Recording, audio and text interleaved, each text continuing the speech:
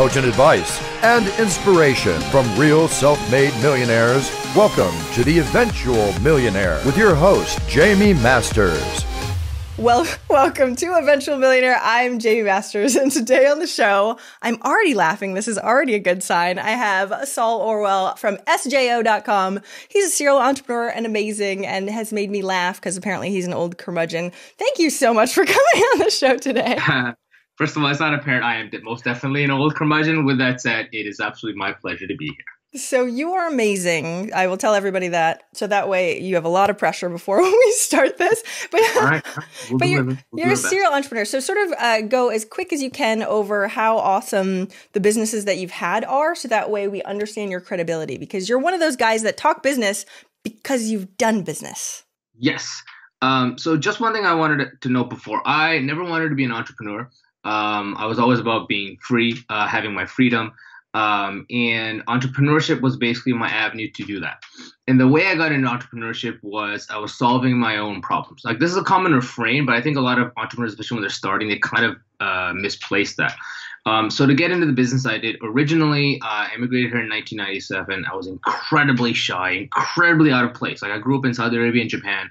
The, the U.S., especially because I came to Houston, it just everything everything blew my mind. And so online games were my refuge. That's where I gravitated towards. And so my first successful business was in virtual currency in these online games. So if you played World of Warcraft, EverQuest, these were the kind of games I got involved in. Um, and I realized there was an uh, you know opportunity there. I realized it was too slow, and that's how I got into that. At our peak, uh, I mean, we were doing a couple hundred thousand visitors a day. We we even bought out like the short form domain names for all these games. So like Matrix Online, we had MXO.com. We actually owned Diablo2.com because Blizzard had a, a trademark on II, but not the actual two. Um, so that was the initial big one. Uh, subsequently, I moved into a new neighborhood in Toronto. Um, and it was the first condo that had been built there, and it was still under construction actually when I moved in, or you know they're still finishing it out. And this is like 2003 or four, and this is before Google Maps existed, or right when it came out. Yelp was just brand new, and I had no clue what the businesses were in my neighborhood. So I actually went out, take, took you know old school uh, digital camera, took a picture of every business in my neighborhood, and uploaded it into a website online. Um, and I remember we had 69 businesses, 75 pictures, and like 300 tags or something. Uh, that started blowing up, and that's how I got into local search. So the guys from Yelp and all that, like I dealt with them way, way, way back then. Subsequently, they were both doing well, and the reason I mentioned the freedom part was uh, I essentially retired. So I lived in the States, I lived in Argentina. I gave control to my number two and told him to run it, paid him better than I paid myself because I had what I wanted freedom. Um, and it's you know it sounds great just did a nomad life especially back in the day but it kind of sucks because i think especially if you're an entrepreneur you have that mindset that you want to build something or you want to create something. Mm-hmm. um, and i actually look back at those years with uh, not not like in a good way more just like a wasted opportunity.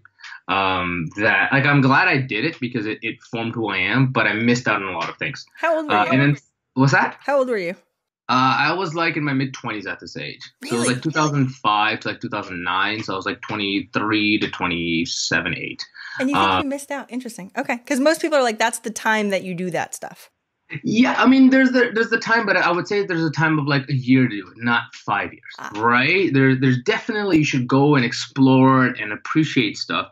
I mean, it, we got really into it. Like I used to be religious, so it's not like I was doing anything debaucherous. I was just being a, a nerd. I was always a nerd. I'm even more of a nerd. But uh, moving on, we're gonna ignore this part.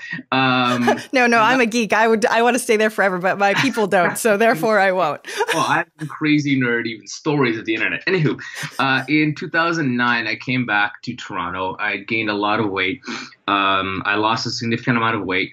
Uh, to put in my one little random brag, uh, I was just in the latest issue of People magazine. I'm one of the before afters in it, which is hilarious. But uh, I realized that hey, supplement companies were ripping us off. That they're misrepresenting science. So, like, if you hear something, uh, glutamine, for example, sold as it'll increase muscle mass by 300%. If you think about it, 300% is a lot of mass. Um, and so, with another guy, created a company called Examine.com. We basically looked at the scientific research around supplements and now nutrition. So, we're almost seven years old. We have over two and a half million visitors a month. Uh, we've been in every single mainstream magazine, newspaper you can imagine. Um, I've somehow uh, used that to become a digital advisor to a certain Mr. Arnold Schwarzenegger, which has been very interesting. Um, and so those are my three businesses. And so about a few years ago, uh, sorry, this is like a very long intro. Uh, through random happenstance, I got into Forbes. uh, Tim Ferriss shared it, said this man is living the four-hour work week. I had an influx of people asking me to mentor them or help them. I don't do any coaching. I don't do any consulting, no client work. But I realized most people teaching entrepreneurship have never really gone through it because most entrepreneurs are busy. Um, and so I started talking about entrepreneurship and productivity and kind of how I make it work. And here we are. I wish I was timing that intro. That would have been great. so, so I, I, so appreciate all of this though, because it tells us a what sucked and was good, but also yeah. b you actually know your stuff. I was going to swear, but your stuff. Yeah. I've experienced. I've experienced it. Yeah. So, so good. So this is perfect segue because this is what I want to talk about. I want sort of the 80 20, and I know this is what everybody talks about, but I want yours because I feel like, no offense, everybody talks about 80 20 or or the best of the best priority wise. Mm-hmm mm-hmm. but they haven't lived it. They're like, oh, I read on Tim Ferriss's thing that we should do it like this. And 100%. in my head, I'm like, that's dumb. You shouldn't be doing those things. So, what are some of those hacks that actually work in business, whether it be productivity or networking or whatever? Sure. So, uh, disclaimer: one of my favorite phrases is "only hacks use hacks." So, I, I need to throw that out before I get yes! into it. Um, I love that. The honest truth is, honestly, it goes back to the basic problem of what problem are you solving. Um, I see a lot of people call themselves entrepreneurs, but they're freelancers, that's their consultants. That's fine. There's like nothing wrong with it. But you need to have a central problem to solve. Secondly, I think people try to go too large. You look at examine.com today, we've got a team of like 20, you know, like I said, we're in pretty much every magazine every week something comes out that, you know, one of our guys is quoted and, and you look and you're like, whoa, these guys are huge. But when we started, we were only bodybuilding supplements. We had like five or seven supplements we covered right? Then we expanded into fitness supplements, then into health supplements, then into all supplements, then into nutrition, and so forth and so forth. So the biggest thing I always tell people is like solve a very, very specific niche, solve that problem, and then you can expand. Um, and people are always like, oh, I don't know how big my niche is.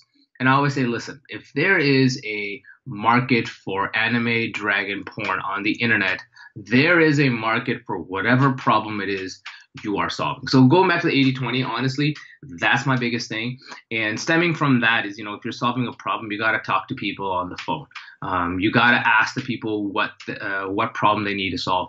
Uh, my buddy John Romaniello, he had this great quote that says, I never said he licked my face. So if you were to read that in an email, you'd be like, okay, that's fine. But depending on the words you emphasize, right? If I said, I never said he licked my face versus I never said he licked my face, obviously someone licked your face versus it was something else that got licked and that's why it's really important to have this conversation with your customers because they'll tell you the language, they'll tell you what's actually frustrating them, and then when you solve it, you just like knock it out of the park. Um, as a real life example, I've done multiple sales sales pages, obviously for different products, and the more attention we've, and one of our like uh, uh, metrics of how good our sales page is, is the questions we get on live chat that have any kind of correspondence to what's on the sales page. And we found that the better job we've done listing the customers, the tighter our sales page gets, and the less questions we get from our customers, they go in straight by. So uh, if it was again 80 20, I'd say like talk to the customers, figure out the actual problem, and solve a very, very, very specific problem. Like if someone's saying, hey, I've got feet pain, don't solve for feet pain, solve for maybe it's overweight people, maybe it's uh, specifically runners, maybe it's cold weather runners who need a very specific kind of solution to uh, fix their feet. So that would be my uh, approach to okay. getting into anything new. So many deep diving questions into those two things, right? Uh, so talking on the phone, I mm-hmm. highly recommend it. Also, most people hate it to the nth degree. It sucks. Like I'll admit, it sucks. I do not enjoy it. I try to pawn it off to my employees now, but when you start, you got to do it yourself. Yeah. That's awesome. Okay, so you hate it, but you still did it. Thank you for saying that because other people oh. need to hear that. Oh okay. yeah, like I may sound uh my voice i don't know in my head it sounds baritone a bit. Uh, i may sound confident but i am i like need to re-energize i totally empathize with the introverted lifestyle. So this is not fun. Um, if i may sorry i just interjected there. Mm-hmm. uh, one easy way to kind of get around it is just go to a conference then you don't need to like get them on the phone but if you're meeting somebody in your industry and you be like hey man i'm thinking about this people will give you feedback will give you their thoughts and because it's an open setting you have a few minutes and you can bounce and you don't have to feel bad about how do i get off on the phone or something so that that's my hack there for customer feedback hack, hack. so so wait if you're an introvert you mm-hmm. just said you would rather walk up to people at a conference than not or you already engage in conversation and therefore that makes it better I think it's because you have the mindset I'm at a conference, I need to talk to people. There's alcohol possibly at a cocktail. There we go. You have food, so you can always be like, oh, that looks delicious. And you talk about whatever. And you're like, oh, I want more hors d'oeuvres. And there's your four minute company. It gets an easy out, right? With your phone call, you're kind of like, how long do we go? Do we ramble on? How do I close it up? Whereas on conference or, or event, people are there to meet other people. So they're even more open to helping you out. Uh, whereas in the phone call, people aren't uh, as much. So that's why I preferred I can psych myself up, do it for an hour or two, and be like, whew, I've got all the data I need. Let's get the hell out. I love it. Okay. Because otherwise, people also like your heart starts beating as soon as you start doing the phone calls exactly. and stuff. And you're like, and then you sound like an idiot at the beginning. Yeah. No, I, I used to have to do cold calls all the time. Sucks. Okay. So, so going back to the niche thing too, because I think this is really, really important. It's easy for somebody on the outside to see. And I tell people all the time to go smaller. They yes. don't like that, like you said. Mm-hmm. So, so, um, so help me with the objection that I get all the time, which is how do I pick it? How do I know what what that niche that will work better is? So that right. that piece. Or I'm afraid later I won't be able to expand more. I would much rather go more broad. Uh, so let's tackle the second one. That's just ridiculous. Like I hate to be rude like that. Like sometimes you just need to be honest. You're like that's that makes no sense. people around. You look at uh, something like Apple, who's making computers, and now they make phones, and their latest hit is earphones. You look at Microsoft, and they're originally making, uh, well, even MS DOS is a whole different story, talking about like nerdness. But now they have hardware, they've got all this kind of stuff. It's ridiculous. No one cares. You can always rebrand. rebrand. Uh, I had a, a, buddy. I have many uh, friends of mine actually that took one brand name, did very well, but then changed their brand name because they wanted to expand. So there's nothing holding you back other than this weird sense that you can't expand once you've uh, started. Um, in terms of like, how do you pick a niche? I'm a big fan of solving my own problem. I am the niche. So in the case of examine.com and supplementation, I was the niche of I've lost weight wait a minute, I don't trust supplements, or wait a minute, I want to learn more about supplements in this very specific bodybuilding scene. Like, does creatine actually work? You may have heard of creatine, especially people who've been around for a while. Mark McGwire kind of got quote unquote busted for a decade. Oh, it's been a while, uh, a while ago. And I always thought creatine was a steroid or it was some kind of like really nasty thing when really it's just something found in meat and they've extracted it. So, um, I wouldn't, I, I, this is where you talk to the customers, but I would honestly just be like, I'm the niche. I will find like-minded individuals um, and expand from that. Uh, in terms of the other kind of related thing I've heard is like, oh, I don't know if there's a lot of money. Listen, e-commerce in retail, sorry, e-commerce in the United States of America was roughly 400 billion dollars in 2016. All right, you don't need even 0.0001 percent of that to be making bank. So I'm sure you can niche it down. And again, this is retail e-commerce, not services, not consulting. God knows how much money is being made online. So uh, there's a lot of money out there on the internet, and this is again just the U.S. only. We're not talking about Canada, U.K., Australia, or anything. You can find money in whatever niche you decide to go after. So if we're solving that one niche, so let's say I think I know what my well, I know what my problem is, and I think I know mm-hmm. what the niches that I want to pick, and I'm going to go talk to other people that are like minded, right? Hundred percent. How do we how do we find those? Like, especially if it's something that's a super slice, right? Subset of what it is, right? So, so I like uh, only this type of whatever it is. Okay. So uh, the initial is obviously your friends, related events. Um, one underrated spot is Meetup.com. Meetup has a meetup for any kind of imaginable thing you can pick. You will find like-minded individuals in that area. The other interesting one, and this is one of my favorite examples, is you can spend just a little bit of money in finding out. So there's a company called Kettle and Fire. They're a bone broth company. Uh, and I think they're mid seven if they haven't already hit eight figures. They're in Whole Foods and Kroger's, blah, blah, blah.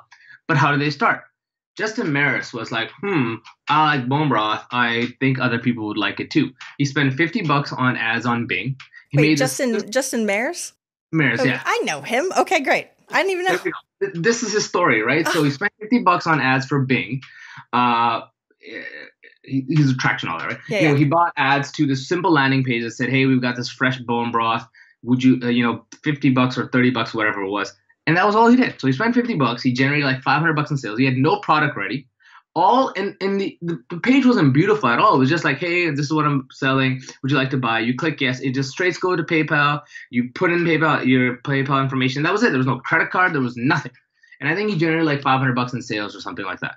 And he emailed all of his customers back and said, "Hey, listen, we're out of stock. AKA, we've never actually made any stock.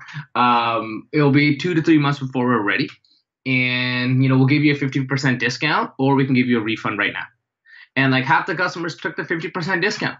So even off of his original ad spend, if he generated five hundred bucks, he still ended up with two hundred fifty bucks, spending only fifty bucks. So you can test out in that way. Uh, the other one that's very underrated is Google surveys. So especially if you go to YouTube, you'll see like those uh, FAQ kind of style or Q and A kind of um, ads that you have to fill out. So Google Survey will let you do a leading question and then a follow-up series of questions. So it's another easy way. We could be, let's say you're looking for bone broth, right? Like, are you interested in bone broth? If they say no, who cares? Move on. If they say yes, then you go, do you care if it's fresh? Do you care if it's been pre-frozen? Do you care? What do you care about? Do you care about sodium? Blah blah blah. Done. Now you got to spend like 50 bucks. Um, and for entrepreneurs, like there's there's two sides uh, sides of it. I am not of the burn your bridges side. Do your side hustle. Spend five hours a week, 10 hours a week on the side. Build it up, and then dive into it. So spending 50 bucks on this simple kind of ad or survey, which anyone can figure out, you can spend that much money while you have your job, while you're figuring it out, and that'll kind of help you figure out what your niche can really, really be about. Awesome, because I knew Justin when he was doing a total different product. So apparently that one did not. Oh, last time I chatted with him was a long time ago. There we go. Oh, some things work, some oh, things uh, don't. Oh, 100%. And, and Kettle on Fire is blown up for them. It was, I mean, they were, uh, they just sponsored uh, uh, Tim's podcast and whatnot. It's done really, really, really well. Well, and what's it's, crazy is that that, syst- that that system that you just talked about was in the four hour work week years and years and years and years ago, and you're still saying that it's still relevant today, which is really impressive. Absolutely, one hundred percent. So, what most people will come back though is they'll go, Well, I don't know how to do ads and I don't know how to do Google surveys and blah, blah, blah, blah, blah, blah, blah, right? So, so Google, uh, let, me, let me just, Google survey is so easy. If you cannot figure out Google surveys, like you need to go off the internet. Like the internet is not your place. You don't have to create anything. You literally just fill out your questions and your answers. That's it. Um, in terms of the other part, you know, I don't know how to do this. I will admit that it can be a little bit confusing but you're not hitting it out of the park, right? You're not trying to make it the best ever. You just sign up with something like leadpages.net, which lets you just put a little bit of text and a button. The button, they'll let you add the PayPal button. That's like two, three, four, maybe five hours of figuring it out. Same thing with Bing ads. Maybe it's not the easiest thing in the world, but what's the premise? You are spending a little bit of money. You want to target a keyword that someone might be searching, send it to that page you made through lead pages. So I understand that, but and this is where my curmudgeon side comes out. In 1999, we didn't even have WordPress. We were working with Perl and CGI bin and and permissions and that kind of stuff. I programmed my own blog. Okay, so like using Nucleus yeah. and crap so, like that, people. you can uh, when I yeah when I started there was no PayPal. At least in Canada there was no PayPal. We had to do merchant accounts and all that kind of stuff. So you can figure it out. I have faith in your intelligence and your uh, will to make it happen. Yeah go with that. That was good. Good. Good job. I'll pat you on the back for that one. Okay. So so as as we're going through, so let's say they have a company. It's mm-hmm. starting to, to do well. There are maybe two employees ish, right? Mm-hmm. And they're trying to grow, but they also are not good at this yet because they're sort of brand new. Right? right? I don't know what segment you can pick an example if you want. What, how do we manage resources, right? So how do we go, oh, I need to care a lot about sales and marketing. Mm-hmm. There's only two of us.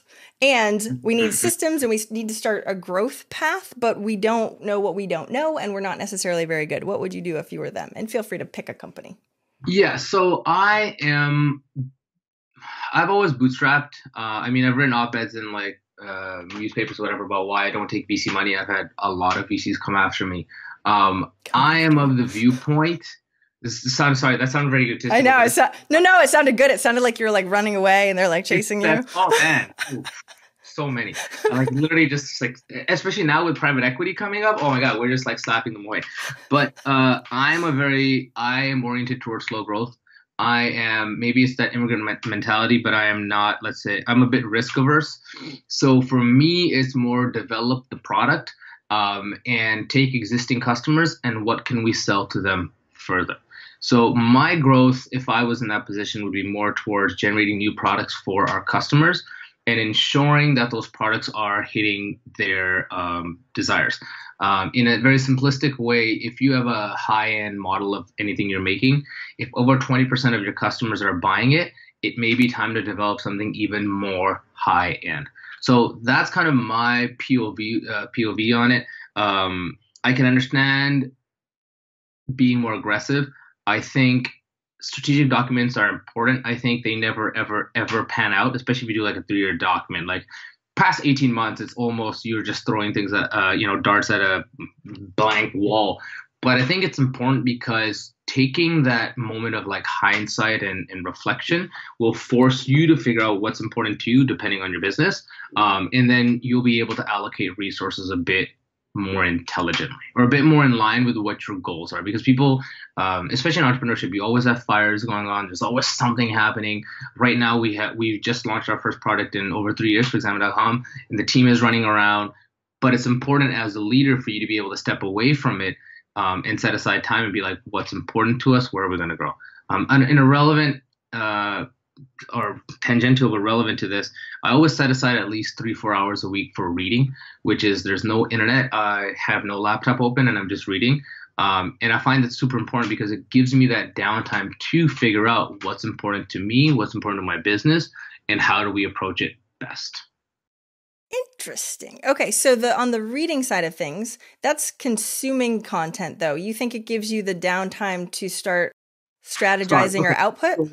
Sorry, when I say reading, uh, I meant more like I block aside time to read and act or or, or do something with it, right? Because like we read stuff all the time, but we just read it and that's it, right? You read, oh, oh my god, this is genius. Yeah, I should totally use the word imagine when talking to my customers because it puts them into the mindset of visualizing stuff and move on to the next. Oh my god, that's also brilliant. So when I say reading, sorry, I meant was like read a couple of things but start i like i love paper and pen. Start writing things down or how you're going to implement them. Start actually putting them into a to-do list or asana or trello whatever you're using. So you actually have the time to uh, mull it over and make it happen. Uh, i think there's a reason especially today that we have the phrase shower thoughts because there's so few times left that we that we're not digitally you know being stimulated being on the throne is no longer a moment of peace anymore. Now you got your phone or your laptop or whatever. And I'm not saying I'm above it myself. I'm not saying that at all. Your laptop, wow. But, but hey, man, sports articles are long. But it lets you, uh, you know, have that moment. Even like 10 seconds of peace will make your brain go so much further um, if you can put aside the time. Not if you have to put aside the time. As a leader, no matter what, unless the house is literally on fire, you have to put that time aside. See, one of the things I give clients is Aqua Notes because they're shower notepads, so you can yeah, always have. Absolutely, they're, so amazing. god, yeah, I totally scribble and stuff I, on. And I will plan on taking a shower when I need to actually strategize, so that way. yeah, got that advanced. That's pretty genius. Actually, I like that idea. I started implementing that. So, but but so I have children. I have to come up with different hacks, quote enough, unquote, right? Enough. Leave me alone. Uh, but but that's sort of my. That's actually where I was going to go with it when you were talking about how do we actually take the time to get on top of everything instead of having everything sort of be thrown at you all the time. So, and and to me, you talk about output a lot too. Instead of yeah. con- consumption, right? Input, yeah. output is extremely important. How, how do you pay more attention to output? So, uh, just to slightly rewind, back on input, mm-hmm. um, my phone has no social media on it. Uh, other than WhatsApp, if you want to consider that to be social media, I don't have Facebook, I don't have Twitter, I don't have anything on it. Like my home screen is not even filled. I don't do apps on the phone, basically. I've got the tiny iPhone SE, it's a foreign screen, drives me crazy, I don't want to use it. And so what I've done in terms of input to create output is, for example, my Facebook is like I have three screens. Um, and I have Chrome on one side, I have Firefox on one, and I have Internet Explorer on the other. Just this is how I operate. And only uh, Chrome has Firefox on it.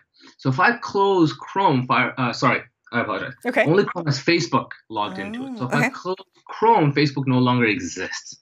So if I'm working on Firefox and I'm writing and I close Chrome, it's gone. I like even if I go to facebook.com, it's not going to be logged in, so I'm not going to see anything. So the other part of that too is as you get more experience, you realize fires are not really fires, right? You also realize that if your employees can't get a hold of you, they tend to be able to figure it out on their own.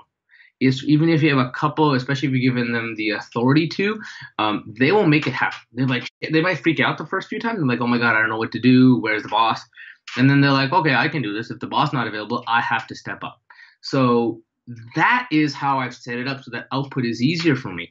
Now, in terms of output, uh, I am very prodigious in writing down everything. So I always carry around notebooks with me. Uh, if I'm walking and I have a thought, I walk a lot. That's my other way of disconnecting. Um, if I'm walking, I use the voice recorder app all the time.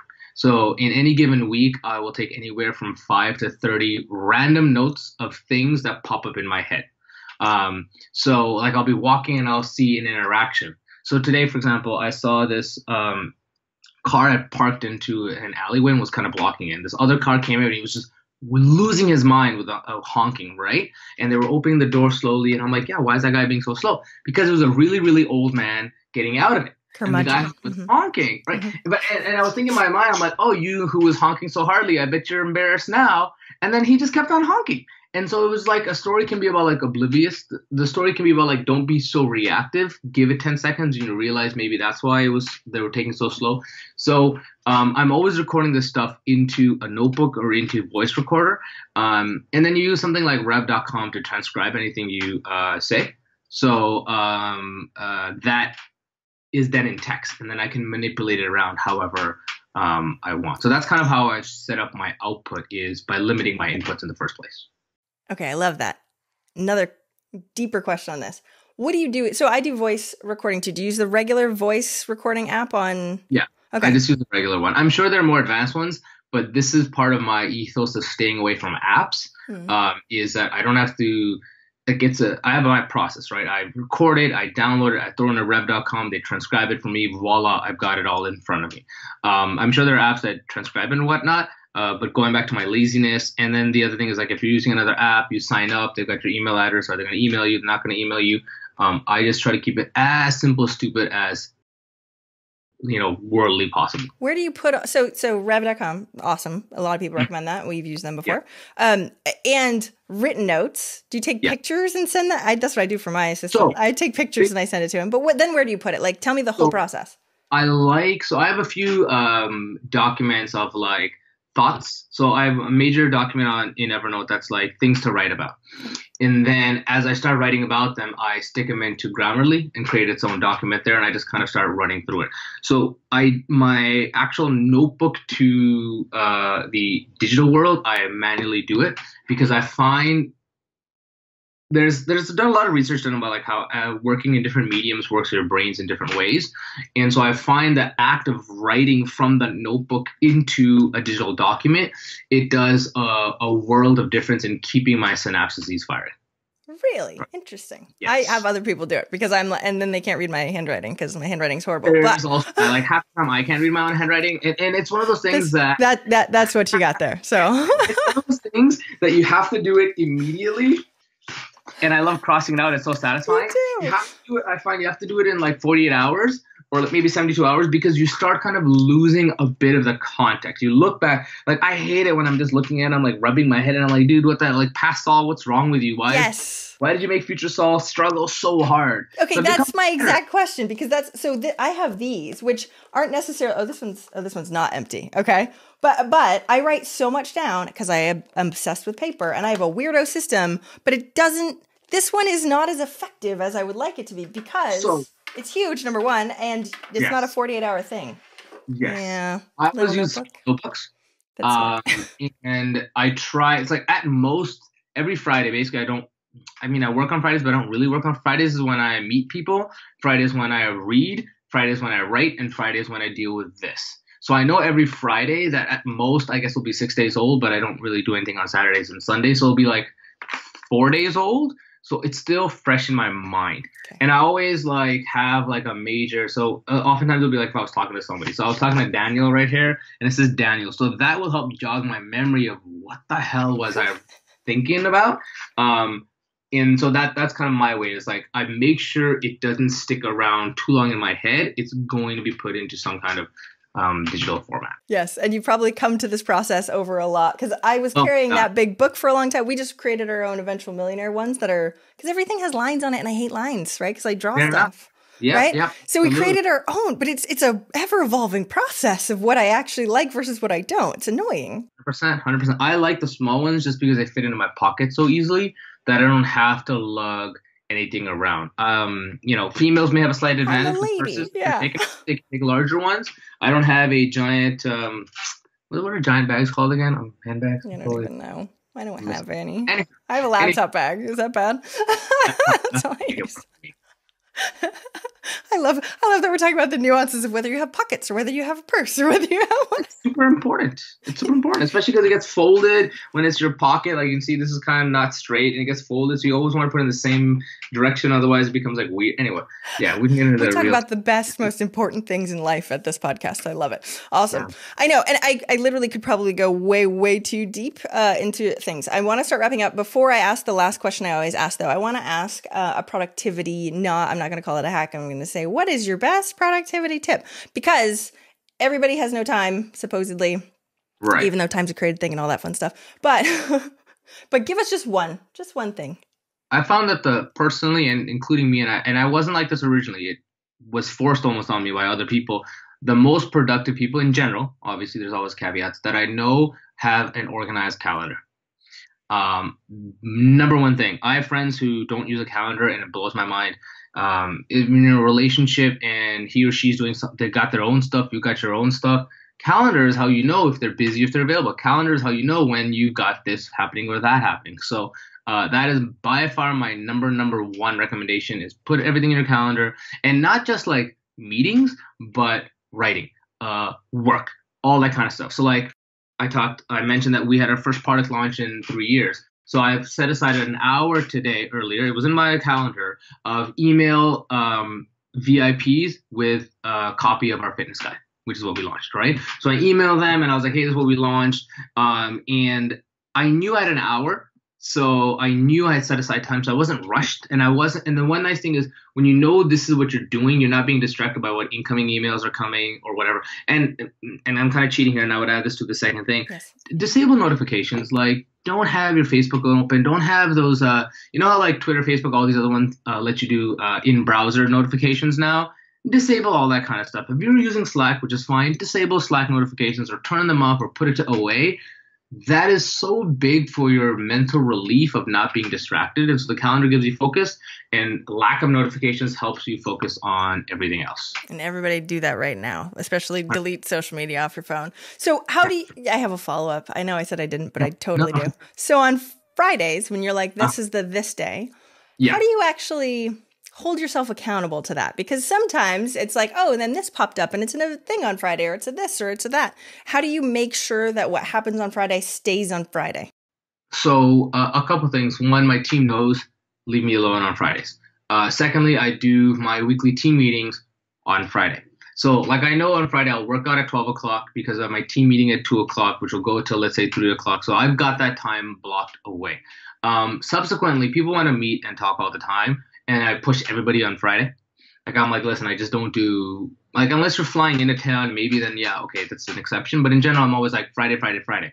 So my Fridays almost naturally fill up in that way. Mm. So I might have like a 30 minute break between two people, and I I like I basically push all my reading to Friday, so I'm excited to read. I'm in terms of like my priorities in my head. I'm like, okay, I could answer this email, but it won't matter. I'm very big on like, will it matter?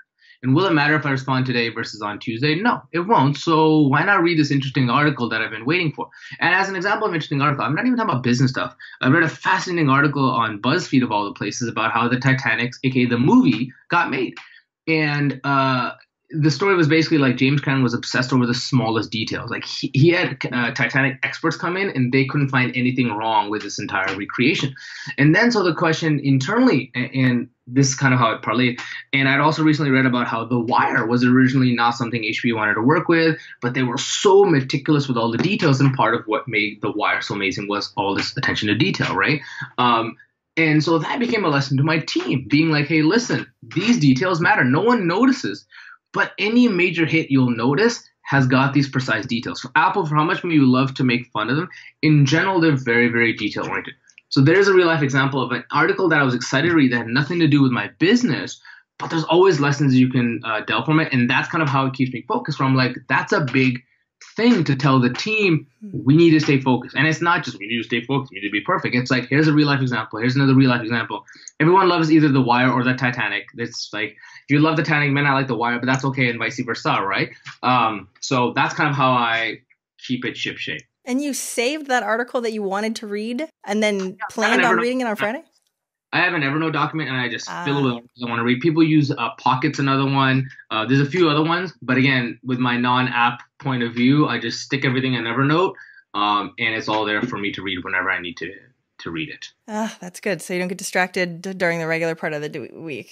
Because that happens. Everything's pushed away. Like I, I do have a bad propensity to keep tabs open, but I have a pretty decent job at taking anything I want to read. I'll take at least four to five minutes and throwing it into Evernote. I'm like, I'm gonna read it, throw it in there. I'm gonna read it, and throw it in there. Done. Okay, and that way, 30 minutes is not a big deal on Friday. Because I was going, how do you read if you you are an yeah. important person? So I'm sure networking fills up really, really quick on your Friday. Yes. So I was going, when do you actually read in the little teeny yes. subsect? Okay, which makes sense. All right. Or actually, you know what? Honestly, it depends on my mood. I will set aside like two hours and be like, I'm just gonna read. Uh, and it might even just be a book. I, honestly, like it will be like, ah, you know what? I don't feel like straining my brain. I'm going to read a fantasy book. Inevitably, what's going to happen is the more, the deeper you get into this, and especially I think good entrepreneurship part of it is is storytelling, finding meaning from something like uh, allegories, metaphors, similes. They're huge. I think in being a good leader, being a good entrepreneur.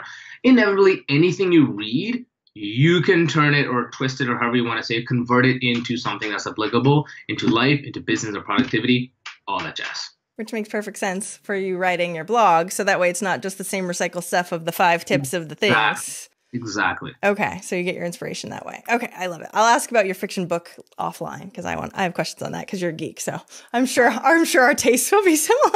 for sure, for sure, absolutely. All right, so I have to ask the last question, even though I totally asked 17 other ones just previously. No problem. Right. What's one action listeners can take this week to help move them forward towards their goal of a million? Okay, so uh, this is gonna be a little bit nebulous, and people might hear this and they might shake their head. And I promise you, this will reap benefits you cannot even possibly imagine. Um, one of the best habits I've developed for myself is anytime I come across anything interesting, I send a note to the writer and I thank them. And I will often try to like raise another issue they may not have thought of.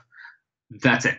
And the reason this is super important is everyone talks about network, um, and this is going to sound egotistical, but people come to me. So I did a, I do these charity food offs, and I did the first one less than a year ago in 2017 January. We raised 1,400 Canadian dollars, huge, well, huge relative.